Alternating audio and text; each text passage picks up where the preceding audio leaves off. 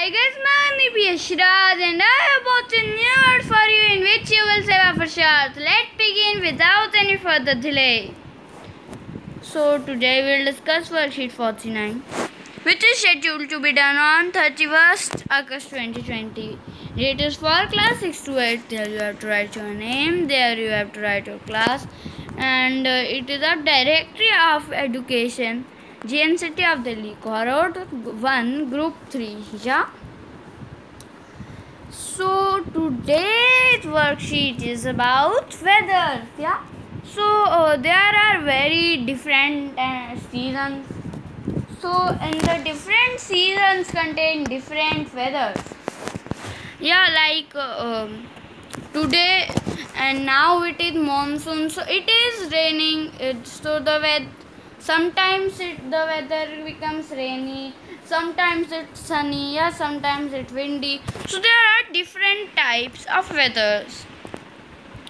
तो आज की वर्कशीट है हमारे वातावरण के बारे में। अगर आपको इस वर्कशीट का लिंक है ना मैंने डिस्क्रिप्शन में दिया। डिस्क्रिप्शन कैसे बोलते हैं आपको सिंपली जो है फुल स्क्रीन जाए एग्जिट करना है मेरे टाइटल पे क्लिक करना है फिर थोड़ा नीचे स्क्रॉल करना है।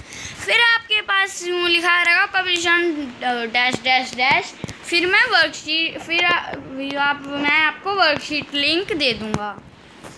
तो यहाँ पे आज हम आपको विद आंसर की और इस वर्कशीट को बिल्कुल समझेंगे, ठीक है?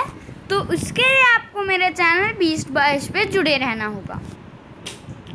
तो task A rearrange the letters to the words and guess the weather okay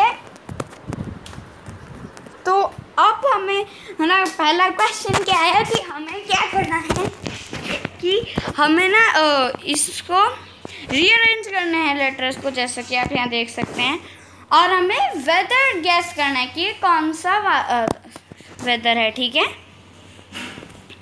तो यहाँ पर इसका उत्तर आएगा हमारा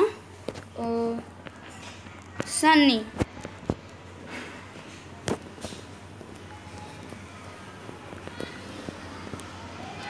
सन्नी, ठीक है? और अब इसका उत्तर।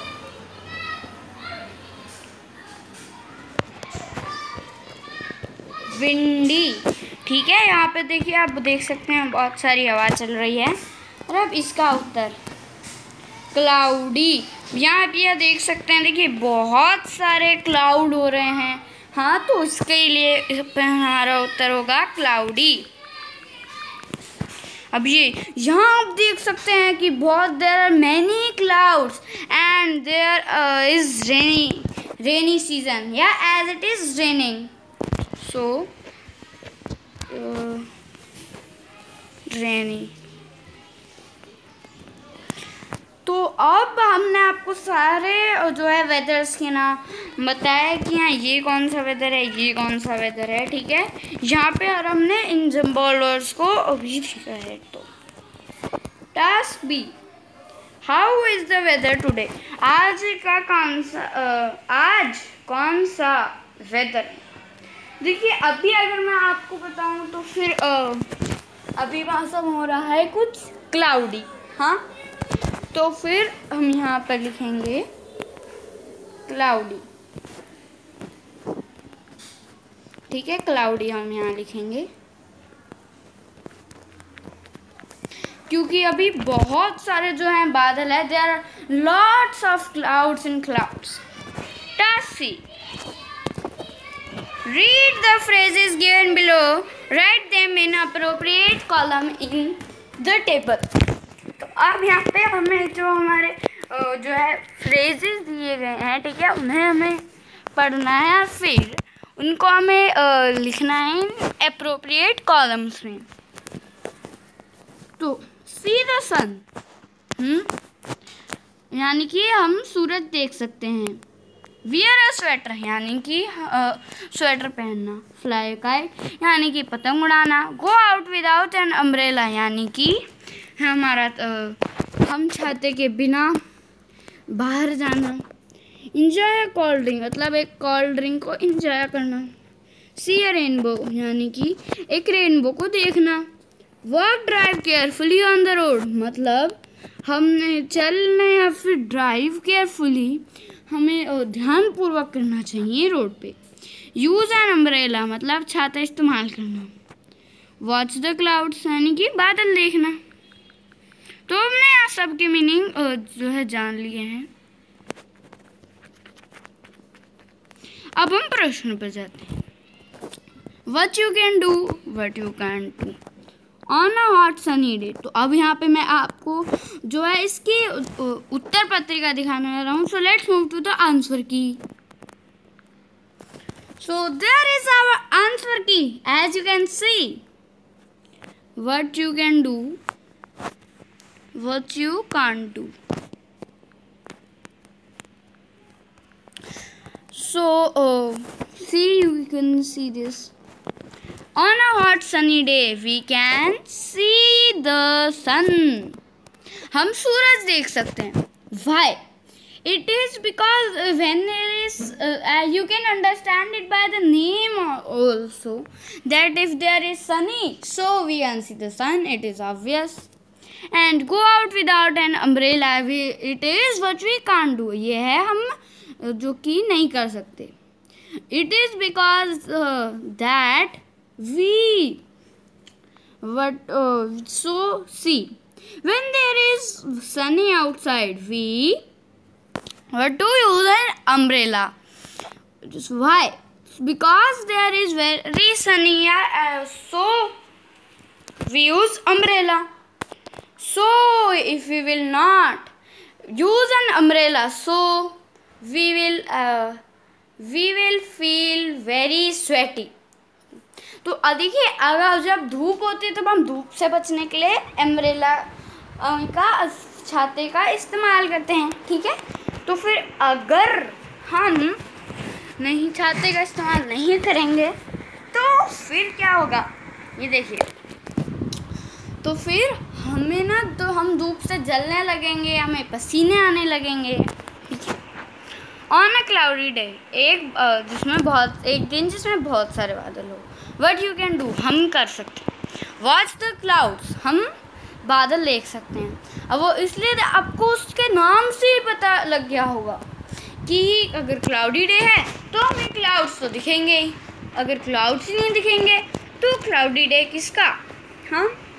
So as you can see it by understanding the name only cloudy. So obvious, we will see the clouds in the sky.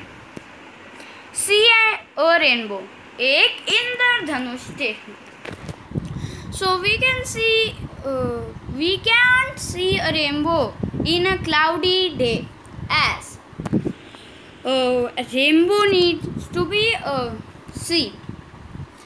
See rainbow is grown when there are two things together first when there is raining and the second when it is uh, sun also but there is cloudy so so it will not be rain yeah and there will be sunlight will be very less तो अब हमें इंद्रधनुष नहीं दिखेगा क्योंकि देखिए अब जो हमारे बादल हैं ठीक है वो तो अब रेन नहीं होंगे ना ही हमारे पास सनलाइट पहुंचेगी तो हमारा इंद्रधनुष नहीं बन पाएगा।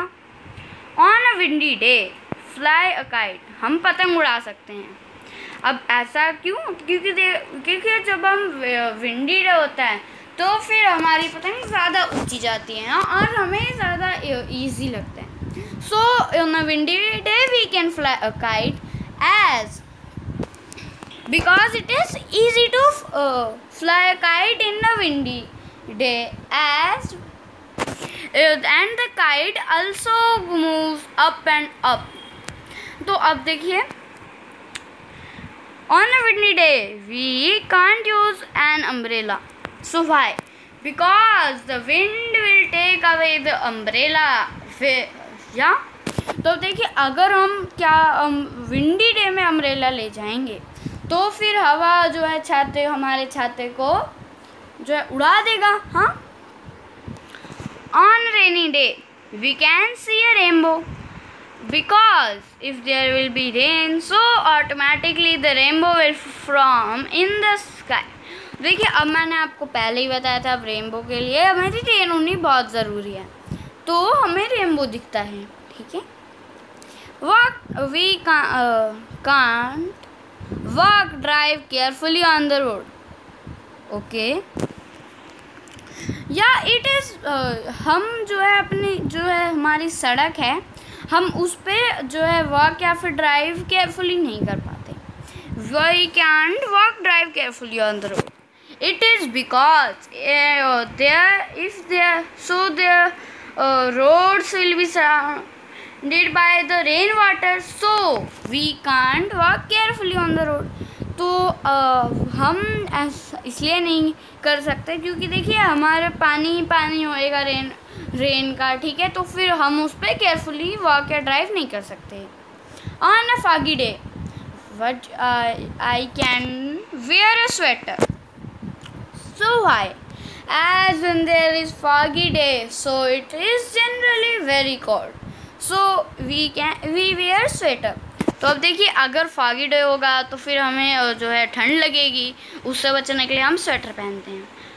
I can't enjoy cold drink as it is a foggy day and it is cold cold so if you will drink and cold drink so will feel cold and we will not enjoy it हाँ तो देखिए अगर हम ठंड में ही cold drink पियेंगे तो फिर क्या हमें अच्छा लगेगा? नहीं।